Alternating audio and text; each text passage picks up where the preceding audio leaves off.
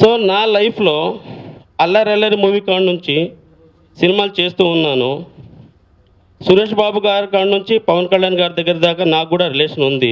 నేను ఎప్పుడు ఈ సినిమా ప్రమోట్ చేయండి ఇది హిట్ చేయండి అని ఎప్పుడు బాగా మోగించలేదండి మోగించను కూడా. సినిమా బాగుంటే సినిమా చూస్తారు లేకపోతే లేదు.